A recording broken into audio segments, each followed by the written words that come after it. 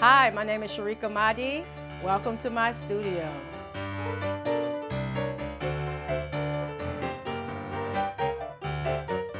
Sharika, I am so excited to be here in your home and your studio. And before we talk about how we met and your journey, I have a question for you.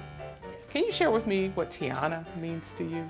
Tiana means to me perseverance, dedication, and a vision.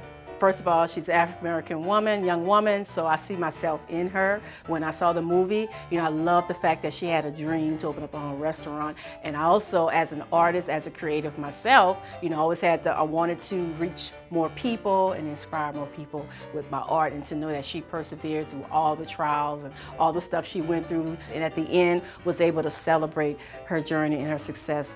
So this is my working studio right now. It's a lot of art from the past wow. and present. Look at this. A lot of art here. Beautiful. A lot of these pieces I've had for a while, and, and, I treasure all of my work that I do.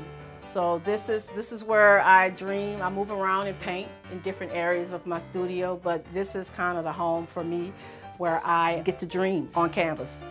Being from New Orleans, being from the city, everything is moving, vivacious, everything is musical, constantly moving at a certain rhythm to New Orleans. And I want to show this is what it's about being a part of New Orleans and being a part of the culture, Louisiana culture.